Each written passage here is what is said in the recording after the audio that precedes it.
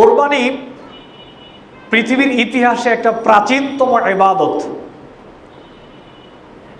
যদি আমরা বলতে যাই পৃথিবীর বয়স কত, তাহলে পৃথিবীর বয়স হিসাব করলে আমাদের সামনে যে রেজাল্ট বের হবে, কেউ যদি প্রশ্ন করে কোরবানির ইতিহাসের বয়স কত, তাহলে পৃথিবীর ইতিহাসের সাথে কোরবানির ইতিহাসের হিসাবটা মিলে যাবে। এটা একেবারে প্রাচীনতম একটা এবাদত যেটা শুরু হয়েছিল আদম আলী সালাতামের যুগ থেকে। এই ইতিহাস আমরা জানি, কিন্তু ইতিহাসটা আমি আপনাদের সামনে নিয়ে আসব এ কারণে ওই ইতিহাস থেকে আমাদের জন্য কিছু শিক্ষণীয় রয়েছে। এই জন্য ইতিহাসটা আমাকে সামনে নিয়ে আসতে হবে। আপনারা জানেন যে আদম আলী সালাতামের যোগে আদম এবং হাওয়া আলী সালাতাম ছাড়া কোনো মানুষ ছিল না। মানুষের প্রয়োজনের কারণেই আল্লাহ সুবাহ যে উদ্দেশ্য করে আমাদেরকে সৃষ্টি করেছেন, এই চিন্তা চেতনাকে সামনে রেখেই আল্লাহ সুবাহ আদম আলী সাল্লামের বংশ বিস্তার বৃদ্ধি করতে লাগলেন। সেখানে বংশ বিস্তার বৃদ্ধির সিস্টেমটা ছিল জোড়ায় জোড়ায় সন্তান দেয়া।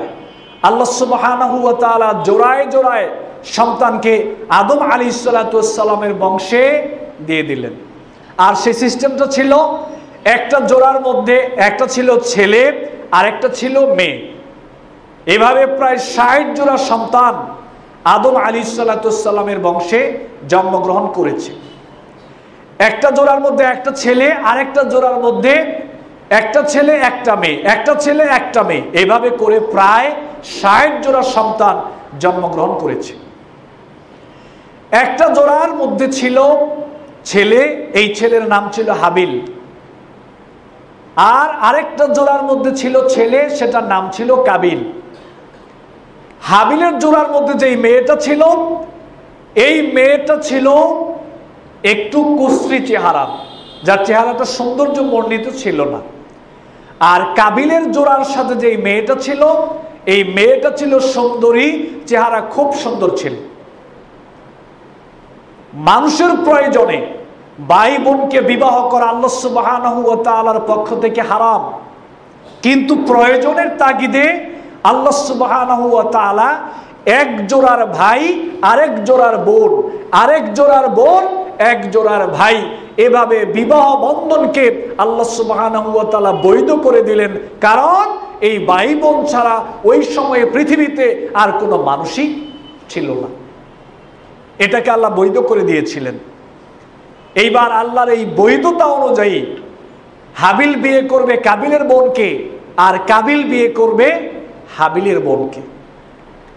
এবার আদম আলী সাল্লাম যখন হাবিল এবং কাবিলকে এই রায়টা জানালেন, তখন কাবিল যখন দেখল যে আমার ভাগে যা পড়েছে, আমার ভাগ্যে যেটা পড়েছে, হাবিলের বোন তো চেহারা ভালো না, কুশ্রী চেহারার মানুষ। আর হাবিলের ভাগে আমার বোন পড়েছে তাহলে আমার বোনের চেহারা তো ভালো, সুতরাং হাবিল এই ক্ষেত্রে ভালো মেয়ে পাবে আর আমি ভালো মেয়ে পাবো না। সুতরাং আদম আলী সাল্লাম যে সিদ্ধান্ত সন্তানকে জানিয়ে দিলেন, কাবিল বলল, আমি এই সিদ্ধান্ত মানি না। সে বিগ্রে বসল। সে বলল, আমার বোনকে আমি বিয়ে করব। কিন্তু ওই সিস্টেম তো এই শরীয়তে ছিল না, নিষিদ্ধ ছিল, হারাম ছিল। আল্লাহ যে সিস্টেম করে দিয়েছেন সেই সিস্টেম মোতাবেক কাবিল রাজি হলো না। এক পর্যায়ে আদম আলী সাল্লাম কাবিলকে অনেক বোঝানোর চেষ্টা করলেন, কিন্তু কাবিল কোনোভাবেই আদমের বুঝ মানলেন না।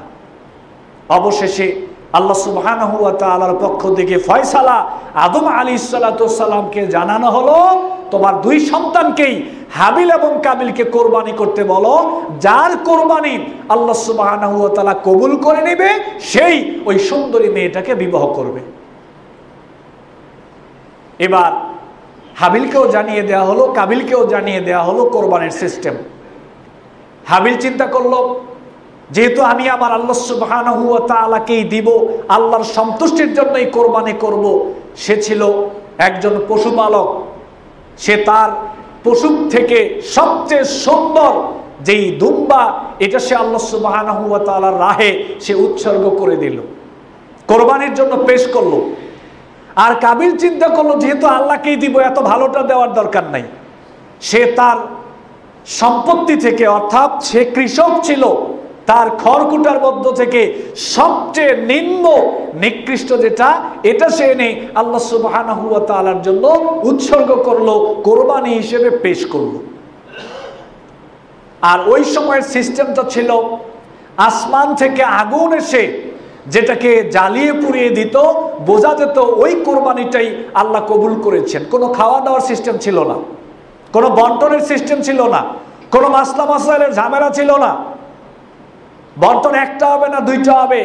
এক শরীকে দিব না সাত শরীকে দিব। এই সিস্টেমটা ওই সময় ছিল না। খাওয়ার সিস্টেমে ছিল না।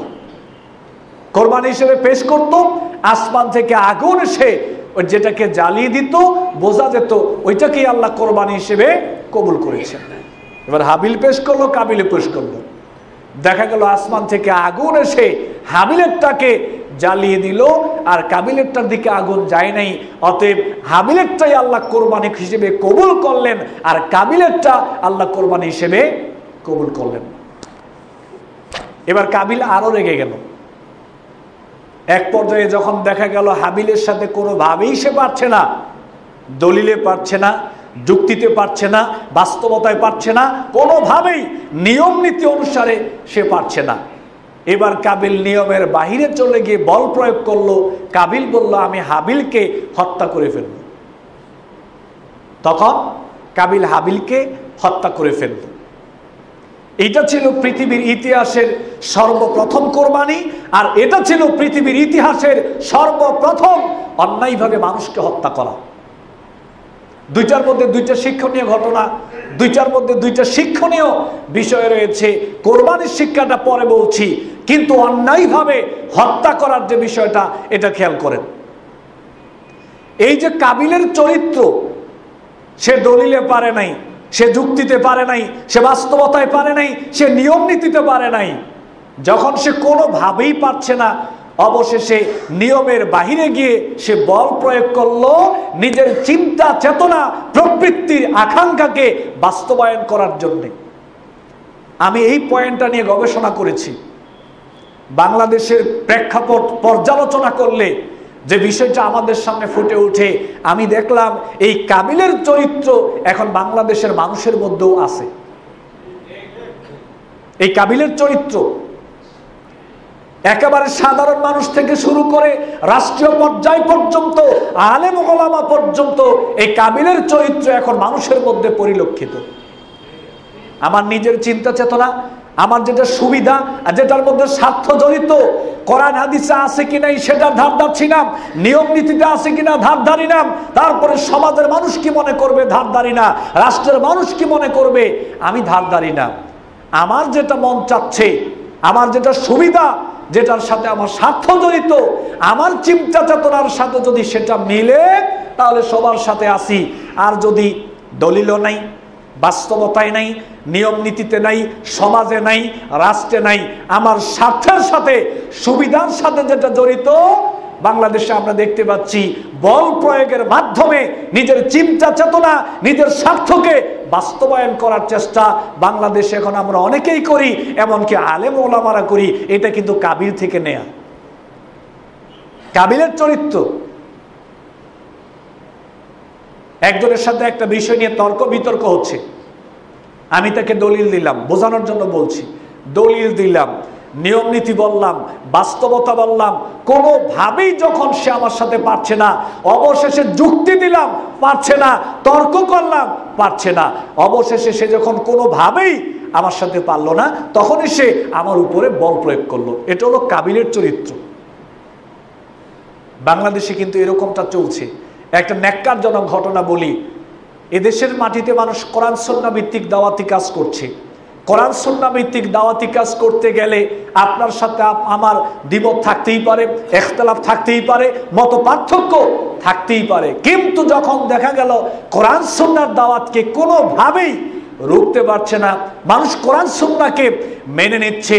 তার ব্যক্তি, তার পরিবার, তার সমাজ, তার রাষ্ট্র গোটা পৃথিবীতেই মানুষ যখন কোরআন সন্ন্যার দিকে ধাবিত হচ্ছে, এক পর্যায়ে আমরা দেখতে পাচ্ছি আমাদের কিছু দিনই ভাই যারা কোরআন সন্ন্যার দাওয়াতকে থামাতে পারছে না, অবশেষে ওনারা বল প্রয়োগ ক্ষমতার দাপট জাতির সামনে পেশ করা শুরু করলেন। তার জ্বলন্ত প্রমাণ হলো ভোলাতে একটা মসজিদকে ভেঙে ফেলা। তার জ্বলন্ত প্রমাণ হলো মাহফিলে হান্ড্রেড ফর্টি ফোর জারি করা। তার জ্বলন্ত প্রমাণ হলো অস্ত্রের ভয় দেখিয়ে ওয়াস মাহফিল বন্ধ করে দেয়া। তার জ্বলন্ত প্রমাণ হলো জনবলের ভয় দেখিয়ে দিনের কাজ বন্ধ করে দেয়া, তার জ্বলন্ত প্রমাণ হলো আজকের বাংলাদেশে কোরআন সন্ন্যার কথা বলা বন্ধ করে দেয়া, তার জ্বলন্ত প্রমাণ হলো জলবলের ভয় দেখিয়ে ওয়াজ মাহফিলগুলোকে বন্ধ করে দেয়া, কোরআন সন্ন্যার দাওয়াতকে বন্ধ করে দেওয়ার প্রচেষ্টা, তার জ্বলন্ত প্রমাণ হলো, এটা হলো কাবিলের চরিত্র। তার নিজের স্বার্থ, তার নিজের প্রবৃত্তির খায়েশকে যখন সে কোনোভাবেই বাস্তবায়ন করতে পারল না, তখনই সে অন্যায়ভাবে হাবিলকে কি করল?